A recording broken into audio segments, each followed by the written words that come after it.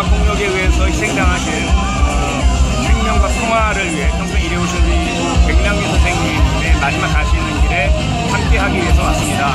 어, 저도 평생 경찰과 함께 일을 해왔고요. 국가 공권력의 일원이었기 때문에 어, 마음 한켠에 깊은 사죄의 마음을 담고 있고요. 그리고 앞으로 이런 비극적인 일이 다시는 없도록